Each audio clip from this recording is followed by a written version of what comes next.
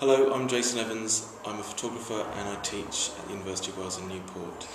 Um, is good art for everyone? I think that if good art was for everyone, it wouldn't be good art, it would be bad art. I want art that's problematic. And just leave it at that.